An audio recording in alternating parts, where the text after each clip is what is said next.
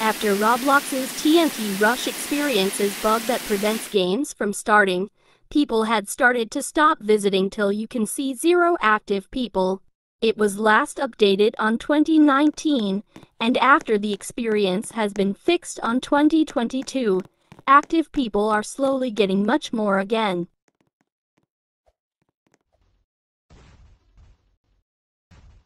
TNT Rush is back to normal, and a lot of people may be playing it again, just like as much as before.